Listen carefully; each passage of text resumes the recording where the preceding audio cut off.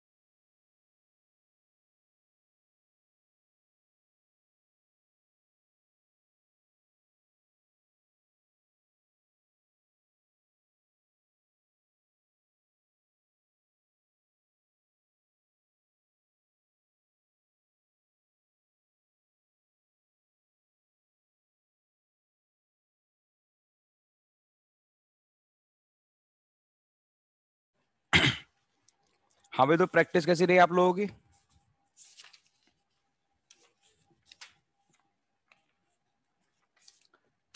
हाँ भाई प्रैक्टिस कैसे रही? हैदर ने तो प्रैक्टिस करी। देखें किस किसने प्रैक्टिस करी थी और मिष्टी ने करी। मिष्टी आपको कॉन्सेप्ट समझ में आ गए थे? यस ठीक है। प्रेरणा? हाँ जी भैया। प्रेरणा कुछ ग्राफ्स ठीक है कुछ ग्राफ्स ना थोड़े गलत हैं। मतलब कुछ एनालिसिस गलत है। ओके मैं उसको देख सागर ने भेजा था मेरे को सागर का एक एनालिसिस ठीक है। महक के एनालिसिस ठीक थे। इशिता के ठीक थे। भूमिका के भी ठीक थे। ठीक अब जरा ढंग से सुनना।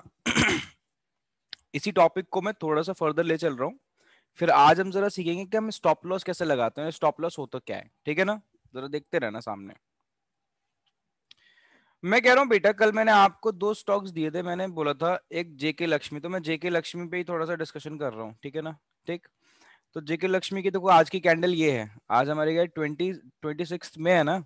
तो आज की देखो कैंडल ये है जेके लक्ष्मी की तो अगर आप कल इस पे लगाते तो आज अच्छा खासा आपको प्रॉफिट होता जेके लक्ष्मी पे। अब जरा हमने जो कॉन्सेप्ट पढ़ा है, उसके अकॉर्डिंग क्या क्या चल रहा था, इसके अंदर जरा वो देख लेते हैं।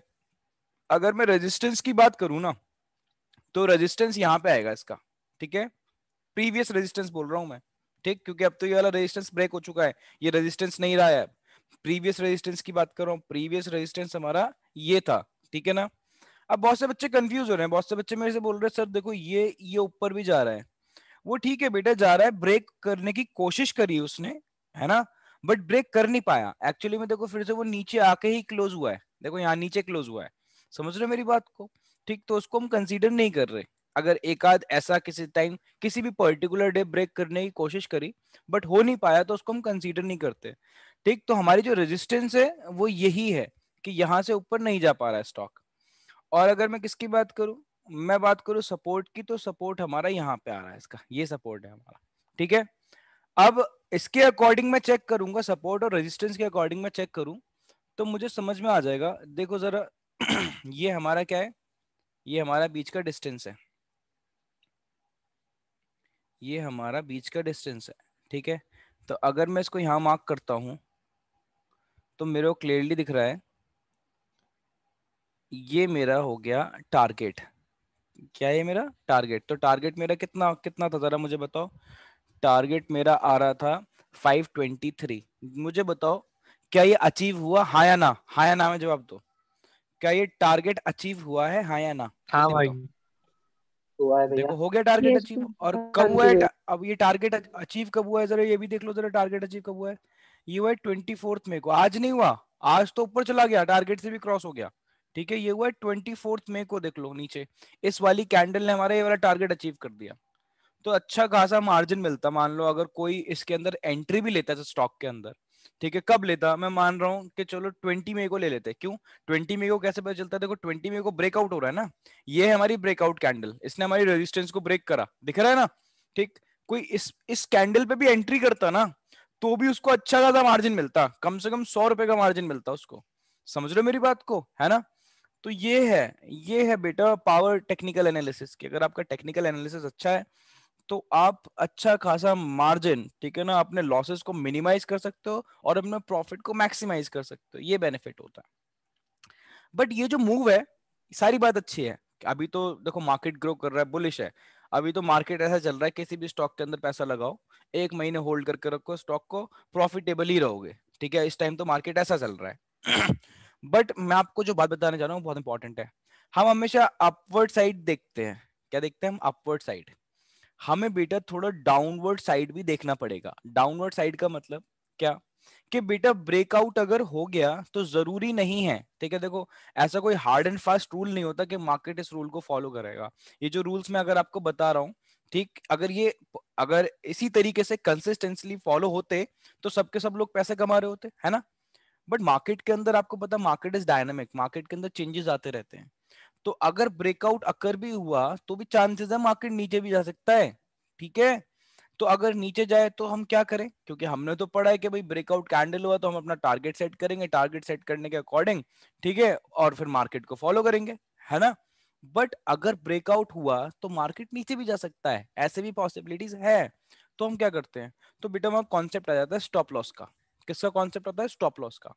जब भी हम कोई ट्रेड लेते हैं ठीक है, ध्यान रखना, पहले बता रहा हूँ, जब भी हम कोई अपनी ट्रेड लेते हैं तो बेटा हम स्टॉप लॉस मार्क करके चलते हैं। अब ये स्टॉप लॉस होते क्या है? बेटा स्टॉप लॉस एक सर्टेन प्राइस लेवल होता है कि मैं एक्सपेक्ट करके चलता हूँ कि अगर इस पर्टिकुलर प्राइस लेवल को हिट कर गया तो मैं अपना स्टॉक बेच दूँगा। इससे ज़्यादा मैं लॉस बियर नहीं कर सकता। उसको बोलते हैं हम स्टॉप लॉस तो आप क्या सोचते हो, क्या इसके अंदर स्टॉक मार्केट के अंदर ऐसा ऑप्शन होता है? हाँ जब आप ज़ीरो दा पे अपने जाओगे, देखोगे, वहाँ पे बहुत सारी चीज़ें दिखती हैं। वो सबसे लास्ट क्लास में बताऊँगा मैं, कि हम ऑर्डर कैसे प्लेस करते हैं, क्या होता है, सारी चीज़ें मैं लास्ट क्लास के अंदर बताऊँगा। अभी हम सिर्फ़ पढ़ेंगे, ठीक है ना? तो वहाँ पे एक बेटा चीज़ होती है, हमें जब ऑर्डर प्लेस कर रहे होते हैं तो स्टॉप लॉस मार्क करने पड़ते हैं। स्टॉप लॉस का मतलब अगर मैंने अपने पैसे लगाए हुए दस हज़ार रुपए लगा दिए मैंने मार्केट के अंदर तो बेटा अगर इसका प्राइस नीचे चल, जाता रहा जाता रहा जाता रहा, जाता ऐसा तो मेरे दस हज़ार रुपए वाइप आउट हो जाएँगे, है ना, पूरी पूरी ट्रेडिंग कैपिटल वाइप आउट हो जाएगी। तो उससे बचने के लिए क्या करना है, उससे बचने के लिए हमें स्टॉप लॉसेस लगाने पड़ते हैं। समझ रहे मेरी बात? हम दोनों एंड्स को देख के चल रहे हैं डाउनवर्ड एंड फॉरवर्ड समझ रहे मेरी बात को? ठीक है? तो बैकवर्ड फॉरवर्ड डाउनवर्ड अपवर्ड सब चीज़ें का ध्यान रखना पड़ेगा हमें। तो आज हम सीखेंगे कि हम स्टॉप लॉस कैसे मार्क करते हैं, ठीक है ना? लिखना है तो लिख भी सकते हो ठीक है? अदरवाइज़ आप मेरी बातों को जरा ढंग से सुनना, ठीक है? मैं कह रहा हूँ, बेटा, हमने टारगेट तो भले ही सेट कर दिया। देखो, हमने टारगेट क्या सेट कर दिया? यहाँ लिखो, दिखा रहा हूँ आपको। टारगेट जो हमने सेट करा है, कितना है हमारा टारगेट 523 जो कि ऑलरेडी अचीव हो चुका है हमारा। 523 तो ये तो हमारा क्या था? ये हमारा टारगेट था। तो ढंग से सुनना पूरी बात को। ये हमारा क्या है? ये हमारा टारगेट और आप ये भी देखा करो मैं कैसे ऑपरेट कर रहा हूँ इस पूरे सिस्टम को। समझ रहे मेरी बात को?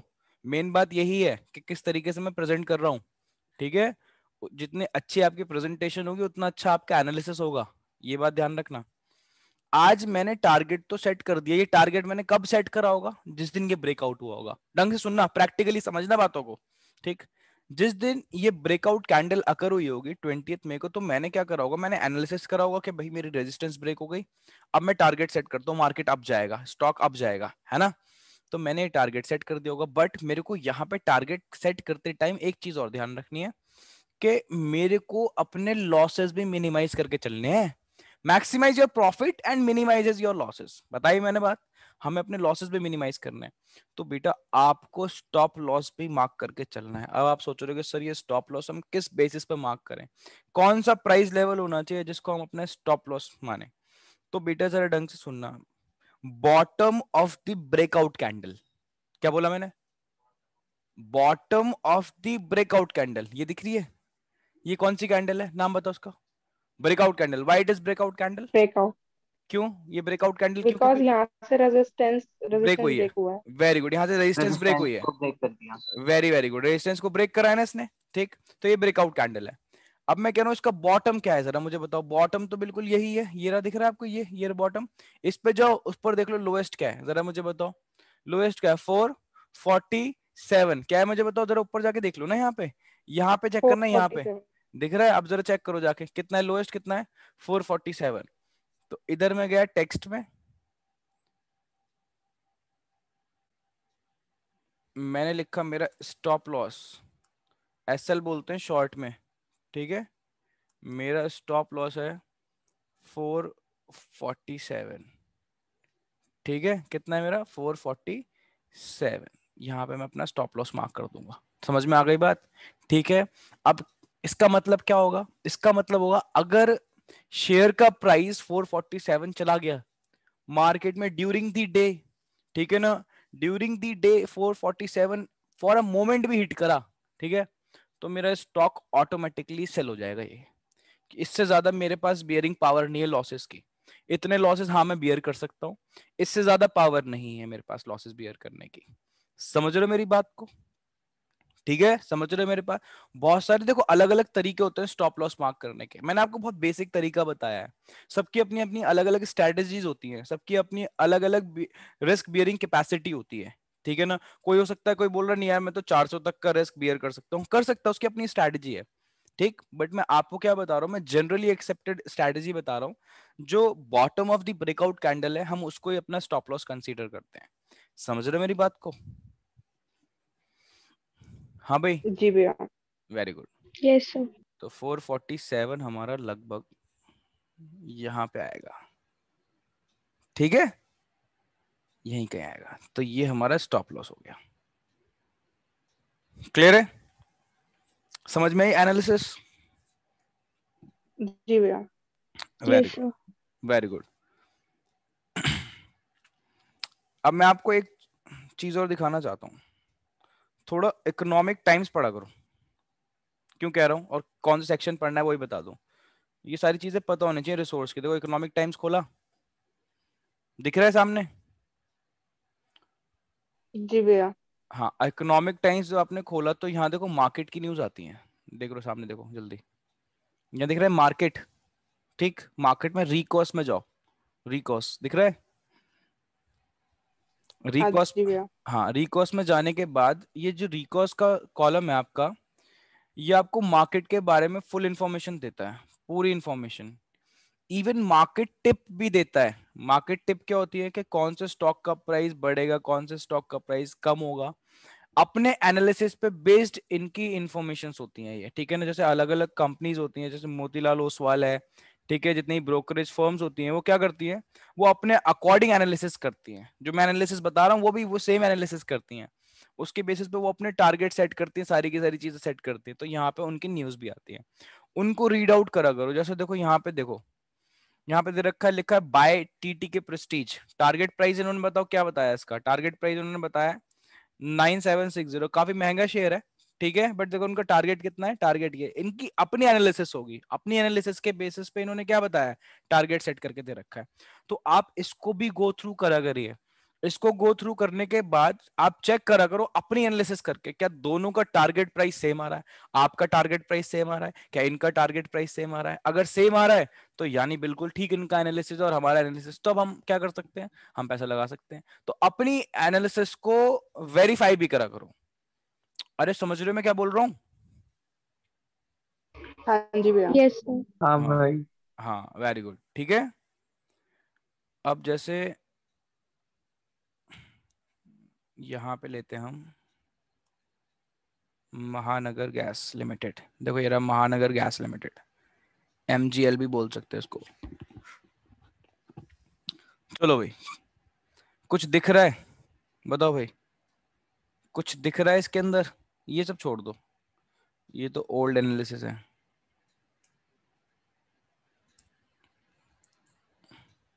सिर्फ़ अभी हम किस पे रहेंगे? सपोर्ट एंड रेजिस्टेंस ठीक है? टारगेट और स्टॉप लॉसेस पे।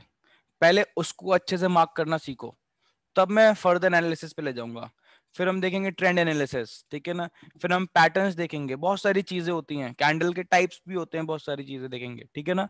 बट अभी जो सबसे बेसिक है, वो है हमारा सपोर्ट एंड रेजिस्टेंस क्योंकि मैं देख रहा हूँ, कुछ बच्चों से सपोर्ट एंड रेजिस्टेंस मार्क नहीं करा जा रहा, ठीक है? और कुछ प्रैक्टिस ही नहीं कर रहे। पहले बता दू मैं प्रैक्टिस नहीं करोगे ना तो ये कुछ नहीं आना। ज़ीरो आप लोग ज़ीरो अगर प्रैक्टिस नहीं करी आप लोगों ने। बताओ भैया। यहाँ पे कुछ दिख रहा है कि फिर से जो महानगर गैस लिमिटेड का जो स्टॉक है ठीक वो कंसोलिडेट कर रहा है। दिख रहा है क्या आपको? एक एक रेंज में ही घूम रहा है। बताओ भाई जल्दी से।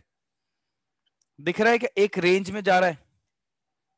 कंसोलिडेशन में कंसोलिडेशन फ़ेज़ में अरे बोल दो। शर्माते बहुत हो आप लोग। देखो अब इसने देखो पहले था जो सपोर्ट था वो ये था। दिख रहा है ये था सपोर्ट है ना? अब मेरे को क्लियरली दिख रहा है कि सपोर्ट ये बन चुका है ये ठीक है ना?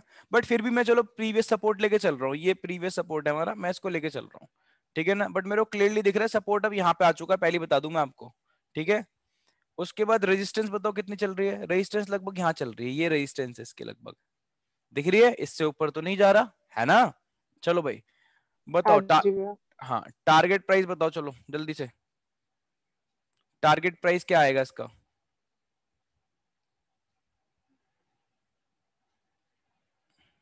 बताओ भाई टारगेट प्राइस क्या आएगा इसका? अरे कैलकुलेट करो ना आराम से दोनों का डिफरेंस देखो ना मैंने सामने दे रखा है दोनों का डिफरेंस निकाल के एड ऑन करो ना वैल्यू क्या? Two thirty two thirty one आएगा भाई मतलब उसका रेंज टू थर्टी चेक करते हैं रुक जाओ। चलो भाई बताओ। टू थर्टी वन आ रहा चेक करें क्या?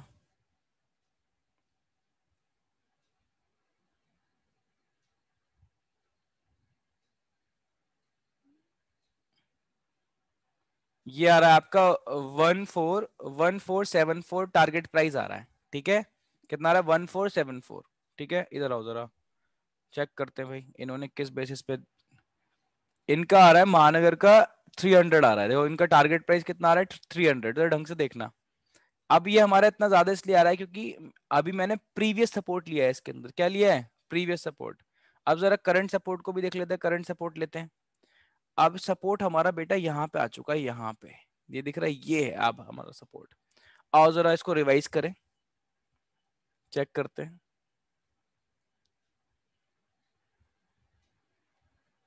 चलो इसको ऊपर ले जाओ फिर से। अब लिया इसको नीचे। ठीक है?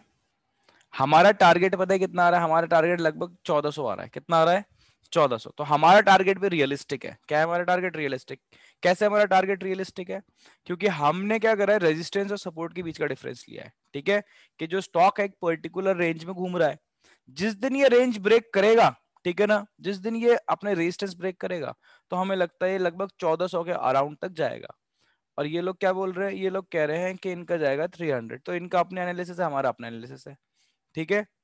समझ में आ रही बात? बट इसको भी रीड करा करो आप, इनका एनालिसिस क्या है? ठीक है? ये फंडामेंटल पे भी बेस्ड होता है, अभी हम सिर्फ़ टेक्निकल कर रहे हैं। ये पूरा ऑल राउंड क्या करते हैं? एनालिसिस करते हैं। इनके फंडामेंटल भी करते हैं टेक्निकल भी करते हैं न्यूज़ के अकॉर्डिंग भी करते हैं। इनकी काफ़ी बड़ी बड़ी कंपनीज़ है, काफ़ी अच्छे अच्छे एनालिस्ट बैठे हुए हैं उसके अंदर। वो पूरा कंप्लीट एनालिसिस करते हैं। बट अभी जो मेरा एनालिसिस है, जो मैंने आपको बताया, ये हमारा एनालिसिस सिर्फ़ एक ही मेथड पे बेस्ड है। That is support and resistance किस पे बेस्ड है? सपोर्ट एंड रेजिस्टेंस पे। और भी मेथड होते हैं। मेरे को यहाँ पे और भी चीज़ें दिख रही हैं। मेरे को यहाँ पे हेड एंड शोल्डर पैटर्न भी दिख रहा है। तो हेड एंड शोल्डर पैटर्न के अकॉर्डिंग भी एक अलग टारगेट सेट होता है। अभी हम उस पर नहीं जाएँगे। अभी हम सिर्फ़ किस पर रहेंगे? सपोर्ट एंड रेजिस्टेंस पे। चलो भाई टारगेट तो मैंने आपको बता दिया कितना है। टारगेट हमारा है फोर्टीन हंड्रेड अब मेरे को जल्दी से बताओ जल्दी से बताओ स्टॉप लॉस कितना रख सकते हैं? अभी क्या हम स्टॉप लॉस डिसाइड कर सकते हैं? जल्दी बताओ। भैया अभी breakout candle very very good अभी ब्रेकआउट कैंडल आई नहीं है। जब तक ब्रेकआउट कैंडल नहीं आएगी तब तक हम कैसे स्टॉप लॉस मार्क करते हैं है ना? मैं कह रहा हूँ बेटा सपोज़ करो कल अगर ब्रेकआउट कैंडल आ जाती है यहाँ पे ये ब्रेकआउट हो जाता है। देखो जा रहा है ब्रेकआउट की तरफ़ मूव कर रहा है। अगर ये ब्रेकआउट हो जाता है यहाँ पे ठीक है? तो हम स्टॉप लॉस मार्क करेंगे अपना। समझ में आ गई तब हम स्टॉक के अंदर एंट्री लेंगे। स्टॉक के अंदर जिस टाइम हम एंट्री लेंगे तभी तो हम स्टॉप लॉस मार्क करेंगे। समझ रहे मेरी बात को? क्लियर और जरा और भी लेते हैं। कोई स्टॉक बताओ आप लोग? पीएनबी हाउसिंग फाइनेंस लें? पीएनबी हाउसिंग फाइनेंस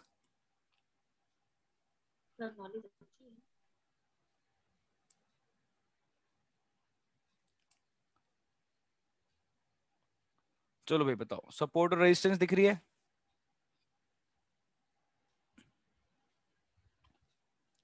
अरे भाई बताओ सपोर्ट दिख रहा है?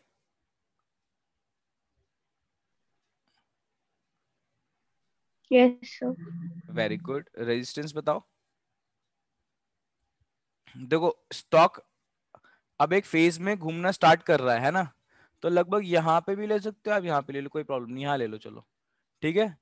इसमें ही तो घूम रहा है स्टॉक हमारा। देख लो चाहे। देख लो। ठीक है ना? तो ये हमारी रेजिस्टेंस है, ये हमारा सपोर्ट है। क्लियर और बताओ और कौन सा? बेटा स्टॉक आइडेंटिफाई करके रखा करो। इन्फोसिस का देखना है? इन्फी हाँ जी देखो, जैसे मैंने यहाँ पे एक पैटर्न होता है डबल बॉटम पैटर्न बनता है, ठीक है ना? ये मार्क कर रखा है मैंने। ये सारे पैटर्न्स आएँगे, बाद में पढ़ाऊँगा मैं ये पैटर्न्स अभी हम, क्योंकि बेसिक कॉन्सेप्ट पढ़ रहे हैं that is support and resistance का, और स्टॉप लॉस मार्क करना सीख रहे हैं। सबसे इंपॉर्टेंट होता है स्टॉप लॉस मार्क करना। बहुत से लोग टारगेट सेट कर लेते हैं बट कभी भी स्टॉप लॉस मार्क नहीं करते। स्टॉप लॉस मार्क करना is very important to minimise your losses हाँ भाई। ये यहाँ तक गया है। यानी इसने अपनी रेजिस्टेंस यहाँ तक शो करी है, ठीक है? और पहले इसका सपोर्ट कुछ और था, आज इसका सपोर्ट कुछ और बन गया है, ठीक है ना? ये देखो यहाँ पे, इसका ये सपोर्ट आ गया है। अच्छा मैं आपको एक बात और बता दूँ, मैं ये जो आपको अभी चार्ट्स पढ़ा रहा हूँ, ये डेली बेसिस पे पढ़ा रहा हूँ, हर दिन का चार्ट इसको हम वीकली बेसिस पे भी पढ़ते हैं, देखो। ठीक है ना? हम इनको सेकंड्स पे भी ले जा सकते हैं मिनट्स पे भी ले जा सकते हैं आवर्स पे भी ले जा सकते हैं, ठीक है? जो बहुत लोग इंट्राडे ट्रेडिंग करते हैं। इंट्राडे ट्रेडिंग का मतलब होता है कि सेम डे खरीदा है हमने सेम डे ही हम उसको बेच देंगे, ठीक है ना? दैट इज़ इंट्राडे ट्रेडिंग तो इंट्राडे के अंदर हम डेली चार्ट्स नहीं देखते इंट्राडे के अंदर हम आर्ली चार्ट्स देखते हैं, ये। तो मैं अभी इंट्राडे नहीं करा रहा हूँ, मैं आपको करा रहा हूँ पोजिशनल स्विंग ट्रेडिंग जो मैं करा रहा हूँ उसको बोलते हैं स्विंग ट्रेडिंग स्विंग ट्रेडिंग का मतलब क्या हमने स्टॉक को खरीदा तो स्टॉक को कम से कम एक हफ़्ता, दो हफ़्ता हम उसको क्या करेंगे? होल्ड करेंगे। सबसे पहला काम ही यही होता है कि आपको ये डिसाइड करना है कि आप किस टाइप के ट्रेडर हो। क्या आप इंट्राडे ट्रेडर हो। पहले मैं बता दू इंट्राडे ट्रेडिंग पे घुसना ही नहीं है अभी। ठीक है? क्यों? डीमोटिवेट हो जाओगे। प्रॉफिट अर्न करना is not a simple task in intraday trading तो पहले पोजिशनल में आओ। पोजिशनल जिसको हम स्विंग ट्रेडिंग भी बोलते हैं, उसके अंदर आओगे स्विंग ट्रेडिंग के अंदर? तो आपको प्रॉफिट होना स्टार्ट होगा, तब आप मोटिवेट होगे। उसके बाद धीरे धीरे कभी आपको इंटरडे में आना है तो आओ। बहुत से लोग इंटरडे करते हैं, बहुत से लोग इंटरडे करते ही नहीं है, ठीक है? अपनी सूटेबिलिटी अपनी रिस्क बेरिंग कैपेसिटी इन इन सब चीज़ों के ऊपर ये बात डिपेंड करती है, ठीक है? तो अभी जो मैं करा रहा हूँ, आपको डेली चार्ट एनालिसिस करा रहा हूँ, ठीक है? तो आप यहाँ से इसका जो टाइम फ्रेम है, वो चेंज कर सकते हो। जैसे मैं वीकली भी कर सकता हूँ इसको। देखो, मैंने वीकली कर दिया। तो इस बार अब जो कैंडल बन रही है ना ये एक कैंडल ये किसको डिस्क्राइब कर रही है? पूरे हफ़्ते को डिस्क्राइब कर रही है। ये पूरे हफ़्ते का मूवमेंट दिखा रही है। समझ रहे मेरी बात? ठीक? अब सपोजिटली मैंने इसको किस पे कर दिया? मैंने मंथ में। तो अब एक कैंडल जो बन रही है, वो पूरे मंथ का आपको मूवमेंट शो कर रही है, एक कैंडल ठीक है? तो हम क्या कर रहे हैं? जो सबसे कन्वीनियंट है वो है दिन का। हर दिन का मूवमेंट हमें पता चले तो नेक्स्ट डे ताकि हम ट्रेड ले पाए। बहुत से लोग इसको आर्ली बेसिस पे भी करते हैं। मैंने एक घंटे का कर दिया। तो अब मेरे को हर घंटे का मूवमेंट हर घंटे का मूवमेंट पता चलेगा। सवा नौ बजे जब मार्केट ओपन हुआ साढ़े तीन बजे जो मार्केट बंद हुआ बीच में जितने भी घंटा है हर घंटे का इसके अंदर आपके पास रिकॉर्ड है। तो यहाँ पे एक कैंडल किसको डिस्क्राइब कर रही है? एक कैंडल एक घंटे को डिस्क्राइब कर रही है। देखो नीचे देखो नीचे लिखा है दस बजे। नीचे देखो लिखा है? टाइम देखो हाँ टाइम उसके बाद देखो उसके बाद देखो क्या लिखा है बताओ नीचे। ग्यारह ग्यारह ग्यारह तो अब एक कैंडल हाँ अब एक कैंडल एक घंटे को डिस्क्राइब कर रही है यहाँ पे। ठीक है? बट हम अभी जो चार्ट एनालिसिस कर रहे हैं, वो डेली बेसिस पे कर रहे हैं। यही सबसे कन्वीनियंट ऑप्शन है। और बेस्ट है ये ट्रेडिंग बेस्ट इंट्राडे ट्रेडिंग में जो घुस जाता है, उसकी ज़िंदगी खराब। अब बोलोगे, सर, आप तो डिमोटिवेट कर रहे हो। बेटा इंट्राडे के अंदर आपको पूरे टाइम मार्केट एनालाइज करना पड़ता है। पूरे टाइम देखते रहो क्या चल रहा है मार्केट के अंदर, पूरे टाइम क्योंकि आपको क्या करना है सेम डे प्रॉफिट बुक करना है लाइफ नहीं रहती पर्सनल लाइफ खत्म हो जाती है उसके अंदर। बट स्विंग ट्रेडिंग के अंदर पोजिशनल ट्रेडिंग के अंदर आप आराम से इन्वेस्ट करो टारगेट सेट करके रखो ठीक है? टारगेट अचीव होगा अपने आप स्टॉक आपका एग्जिट कर लेगा एग्जिट ले लेगा टारगेट अचीव होते ही ठीक है? उसके अंदर थोड़ा कन्वीनियंस रहती है और पैसे एंड भी करते भाई हैं। मेरे क्या? मेरा एक डाउट था भाई। हाँ पूछो। जैसे आप बोल रहे हो कि ब्रेकआउट कैंडल आती है तो हाँ। ज़रूरी है कि ब्रेकआउट कैंडल या ब्रेकडाउन कैंडल भी तो आ सकती है ना? ऑब्वियसली ब्रेकडाउन जब चलो ब्रेकडाउन कैंडल जब आती है तो हम क्या करते हैं हम जो टारगेट ऊपर सेट करा था वो टारगेट हम नीचे सेट करते हैं। समझ रहे हो मेरी बात को? मैं क्या कह रहा हूँ मोइन? मान लो एक सेकंड रुको जरा कैंडल बना के बताऊँ।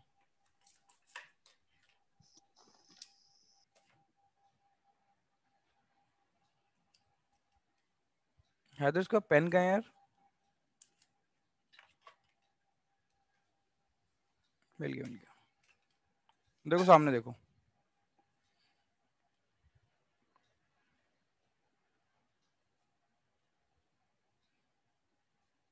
मैं कह रहा हूँ, मान लो यहाँ पे कल एक ऐसे एक ऐसे कैंडल बन जाती है नीचे की तरफ़। जिसने सपोर्ट को क्या कर दिया? ब्रेक कर दिया। ये कैंडल बन गई।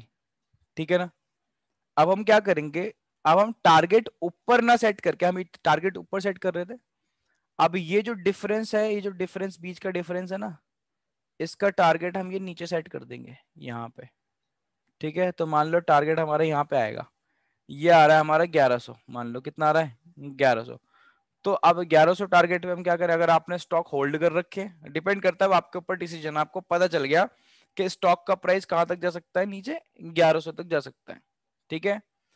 अब डूबती नाव में क्या कोई इंसान पैसे कमा सकता है? हाँ कमा सकते हो। अगर आप डील करते हो फ्यूचर्स एंड ऑप्शंस के अंदर, ये बात ध्यान रखना। अगर आप किसमें डील कर रहे हो फ्यूचर्स एंड ऑप्शंस के अंदर तो आप जो स्टॉक का प्राइस डाउन जा रहा है, उस पर भी पैसे कमा सकते हो। बट मैं बात कर रहा हूँ इक्विटी की, ठीक है? इसलिए मैंने ब्रेक डाउन नहीं बताया आपको। इक्विटी की जब हम बात करते हैं तो इक्विटी के अंदर यहाँ पे आप सिर्फ़ एक चीज़ में बेनिफिट ले सकते हो, कि अगर आपने स्टॉक होल्ड कर रखे हैं, अपने पास आपके पास स्टॉक है तो हाँ आप उसको सही टाइम पे बेच सकते हो, ठीक है? अपने लॉसेस मिनिमाइज कर सकते हो, समझ में आ गई बात? अगर आप इक्विटी मार्केट के अंदर डील कर रहे हो, ठीक है? तो आपके पास सिर्फ़ एक ऑप्शन है इक्विटी मार्केट के अंदर you can minimise your losses but मैं बात कर रहा हूँ फ्यूचर्स एंड ऑप्शंस की तो फ्यूचर्स एंड ऑप्शंस के अंदर आप क्या कर सकते हो? फ्यूचर्स एंड ऑप्शंस के अंदर आप बेटा वहाँ पे पैसे भी कमा सकते हो ठीक है? आप कैसे कमा सकते हैं? वो बेटा फ्यूचर्स एंड ऑप्शंस वाली क्लास का पार्ट है यहाँ का पार्ट नहीं है। ठीक है भाई? बात समझ में आ गई? मोइन समझ में आ गया? जी भाई। तो जो हम टारगेट कहाँ सेट कर रहे थे? ऊपर वही टारगेट आज हम कहाँ सेट कर देंगे? नीचे सेट कर देंगे। ठीक है? जी। और पूछिए। और डाउट्स पूछिए।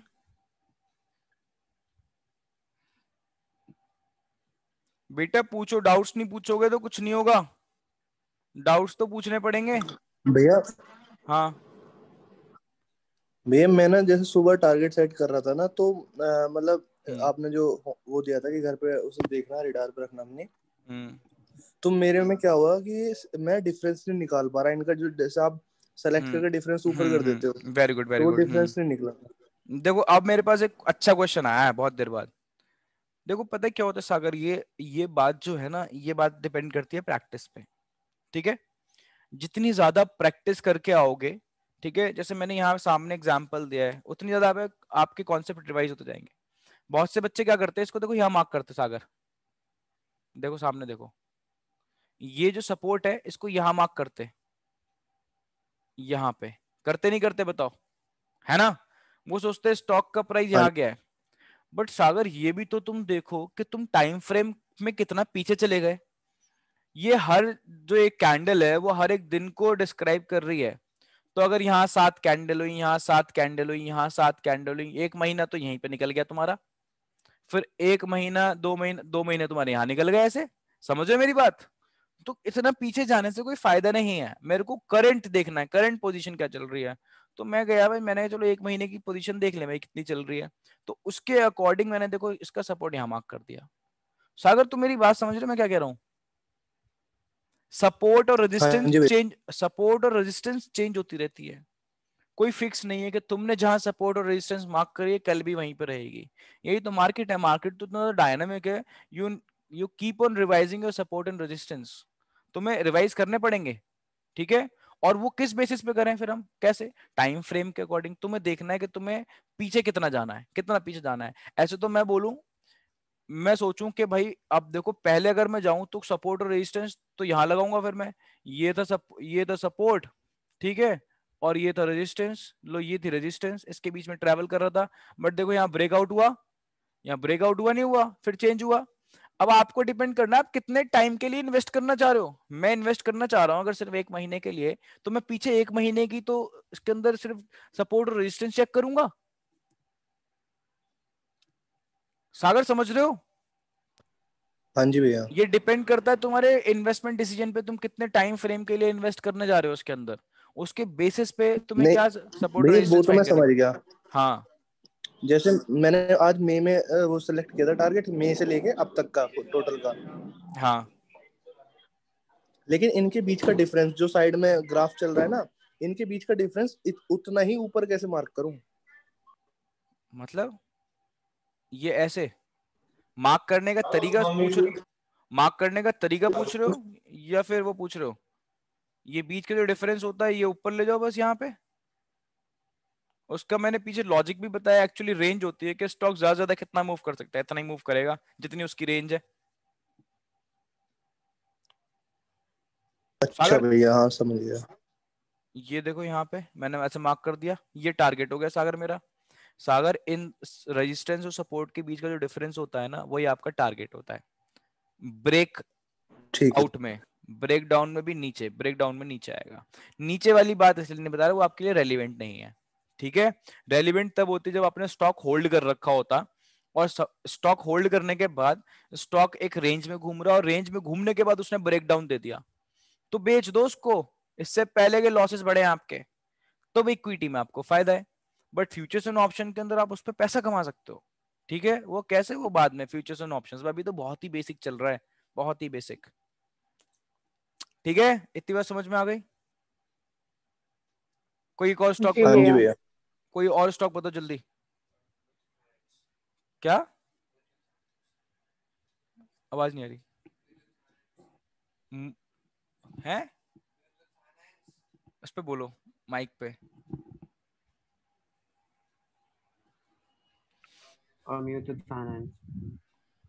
किसी को समझ में आया क्या बोल रहा है? हैं? नहीं भैया। ये बोल रहा है मुथूट फाइनेंस। थोड़ा साफ़ बोल लिया करो। ब्लूटूथ? Bluetooth finance. हाँ भाई। बताओ। यहाँ तो क्लियरली एक रेंज दिख रही है। क्लियरली और मैं अभी आपसे बोलूँगा कभी भी अगर अभी तो देखो डिसीज़न लेना मत इन्वेस्टमेंट का, क्योंकि आपने कुछ पढ़ा नहीं है। ये तो बहुत बेसिक बेसिक कॉन्सेप्ट चल रहे हैं। जब टेक्निकल एनालिसिस खत्म करूँगा, तब सोचना, कुछ थोड़ा स्टार्ट करना इन्वेस्ट करना। और हमेशा स्टार्ट करना बहुत बेसिक स्टॉक से। हज़ार रुपए से ऊपर वाले स्टॉक पे तो जाना ही मत कभी भी। अभी फॉर अ टाइम बिंग ठीक है? क्योंकि हज़ार से ऊपर जाओगे कैपिटल ज़्यादा लगेगी। आप मान लो कि कोई उसका एक शेयर का प्राइस हज़ार रुपए है। तो अगर मैं दस शेयर भी खरीदना दस हज़ार रुपए तो लग रहे हैं उसके अंदर, ठीक है?